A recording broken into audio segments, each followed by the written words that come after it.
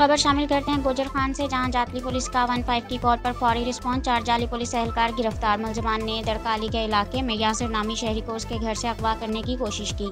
मुलजमान ने खुद को पुलिस एहलकार ज़ाहिर करते हुए खातून खाना की इज़्ज़त और चादर, चार दीवारी के तकदस को पामाल किया। यासिर नामी शहरी को हथकड़ी लगाकर प्राइवेट गाड़ी में ले जाने की कोशिश की।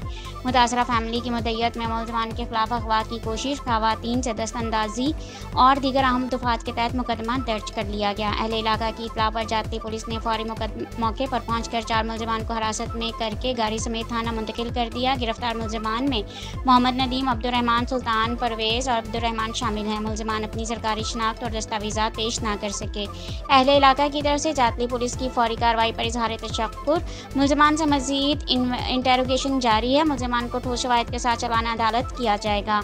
रिपोर्ट गोजर खान से